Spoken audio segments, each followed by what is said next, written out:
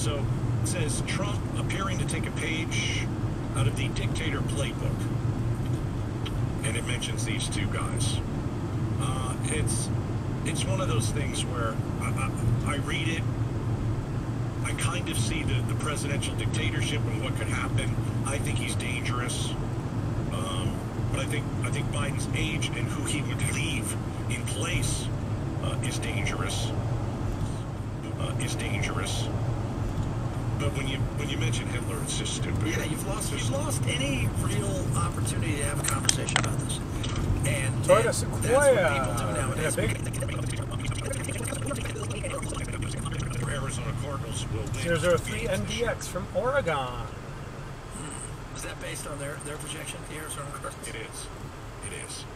So the two games will be one against Atlanta, not a great team. The other against Houston, they're terrible.